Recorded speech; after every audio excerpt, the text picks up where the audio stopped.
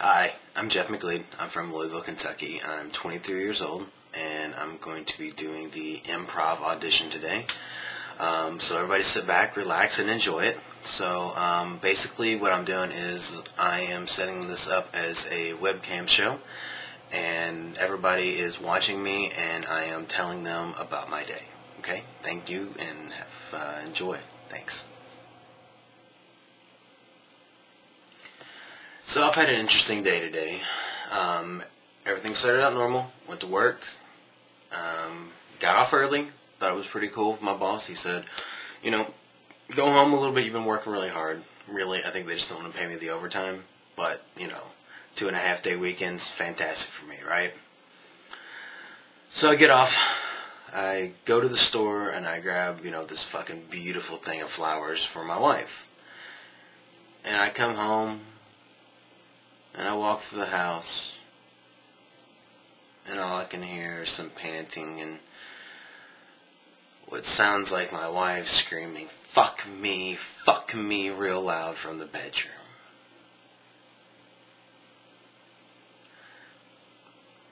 So I walk back there just to see what's going on. I mean, what else can you do, right?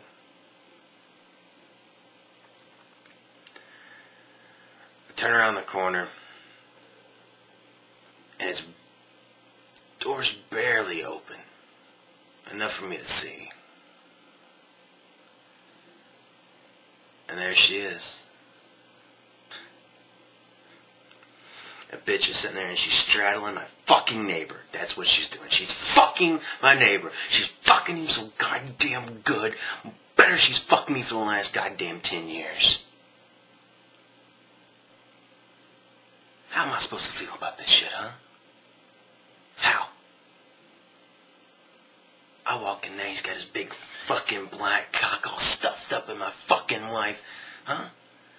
She's bouncing on the shit up and down, up and down, up and down, and oh, she's just screaming out, fuck me, fuck me, motherfucker, do it. And he's just laid back with his eyes rolled in his head into my fucking pillows, on my pillows on my sheets the shit that I bought, the shit that I worked hard for. And that bitch just stays at home fucking my neighbor. I didn't interrupt him. No, I didn't interrupt him. I could have kicked the fucking door and boom! But I didn't. Instead,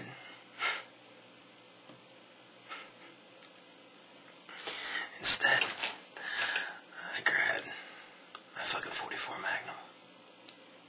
It's nice. I like it. I grabbed it, sat there and I cocked it back. And I walked in the room just like this. I didn't kick the door in hard. No, not at all.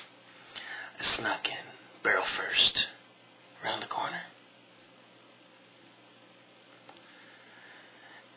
They were so busy fucking that they had no idea that somebody was behind them with a 44 Magnum. I pressed the fucking barrel against that bitch's head. Stopped. And she knew she was caught. There was nowhere for that bitch to fucking run to. But you know what? She fucking hurt me. She made me feel a lot of pain. And I wanted her to feel some pain, right? Yeah. So she hopped off his fucking guy's dick. And I pointed the gun to her to walk over yonder, right? And there he is. He's in the bed. And he's all like, "Holy shit! Don't, what the fuck?" You know. And he's like, "Motherfucker, I went to barbecues at your house, and this is how you repay me? By fucking my wife when I'm not home?"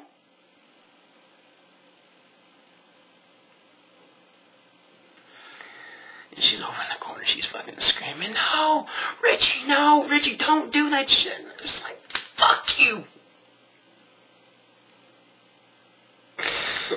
fuck you.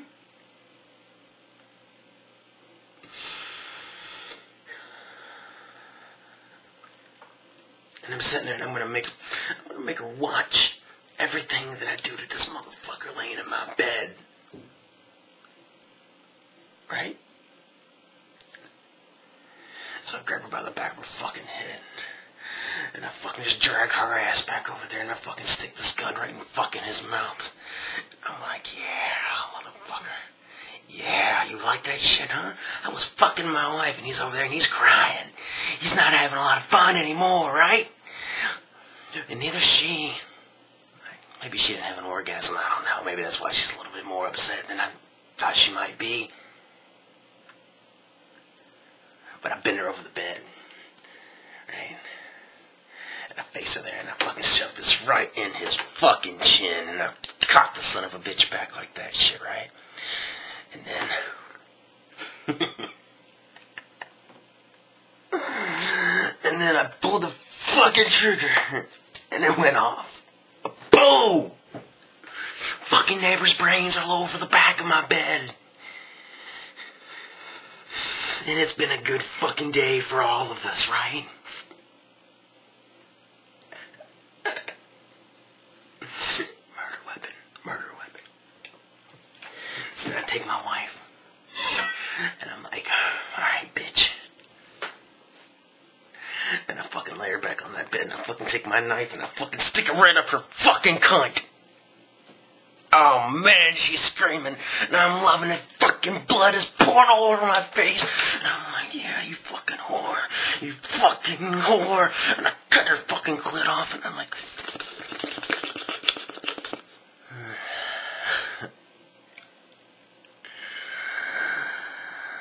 I bet you don't know what raw clit tastes like on a Tuesday morning now, do you? So then I just had to finish that bitch off. And I slit her fucking throat. And I watched her sit there and she grasped for air and she couldn't speak and fucking blood is going everywhere. And I felt really bad. Kind of. But that's what she deserves, right? She did this to herself. Nobody else made her do this shit. Right?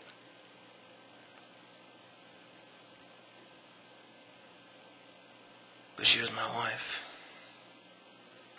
She's the one when I stood up in front of the altar and I said that I would love her no matter what. I would do anything for her. I would die for her. And in sickness and in health. And this was a sickness. I guess the vows don't mean shit, right?